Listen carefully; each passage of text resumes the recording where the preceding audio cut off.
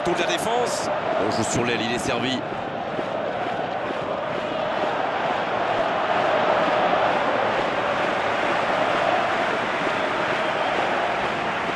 Premier corner dans cette rencontre.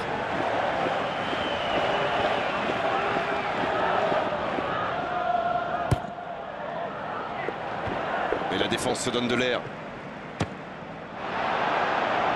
C'est centré. Ouais, il frappe encore. Un autre tir. Et oui, but Ah, Ils ont trouvé le bon rythme là. Quelle efficacité Qu'il est fort pour sentir ces coups-là. C'est vrai qu'il est plus rapide que tout le monde, mais la défense est restée trop passive.